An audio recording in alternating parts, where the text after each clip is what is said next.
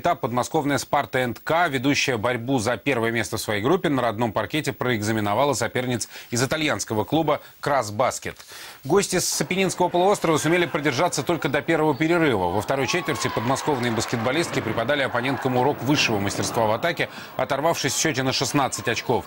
Далее преимущество российского коллектива только нарастало, и, наконец, добившись солидного перевеса, лидеры красно-белых передали управление игрой остальным одноклубницам. И итог встречи 77-50 53 в пользу Спарты. Напрягались? Как э, не напрягались? Я говорю, то, что у нас э, как бы домашний матч не, э, не очень хорошо выходит в последнее время. Хуже, чем на выезде. Поэтому мы готовились. Просто мы не ожидали, что как бы так получится